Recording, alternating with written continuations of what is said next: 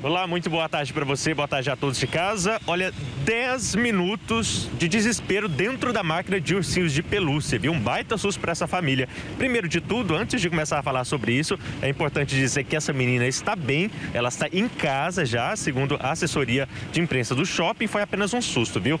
Segundo o Corpo de Bombeiros, a equipe de resgate não chegou a atender essa ocorrência, né? A tirar essa menina de lá. Quem tirou ela dessa máquina foram os seguranças mesmo do shopping. Eles tiveram que fazer sabe o que? Arrombar uma tranca dessa máquina e aí sim eles conseguiram. Como, a pergunta que fica, como é que essa criança conseguiu entrar dentro dessa máquina? Para quem não sabe, essa, essa é aquela máquina que sempre, geralmente os shoppings têm, né? Que você coloca ali dois reais e aí a, libera lá aquele ganchinho, né? Você manipula ali a máquina tem uma alavanca, né?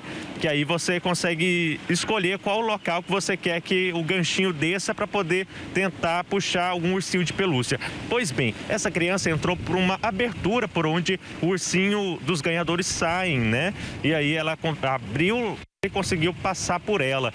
E aí ela ficou 10 minutos presa, um, minuto, um momento de desespero, 10 minutos lá dentro, mas os seguranças do shopping conseguiram aí abrir e tirar ela de lá.